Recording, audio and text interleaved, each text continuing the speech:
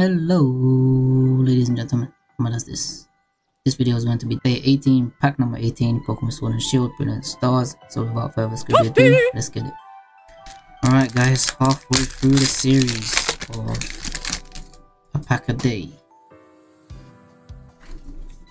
So far so good guys, so far so good. This half of the series has been good. I think it was day number 17? No, day number 16 was 15 that was the best so far.